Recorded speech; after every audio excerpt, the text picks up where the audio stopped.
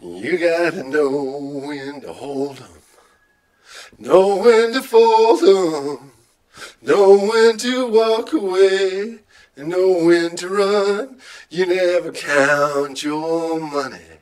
While you're sitting at the table, there'll be time enough for counting when the dealing's done.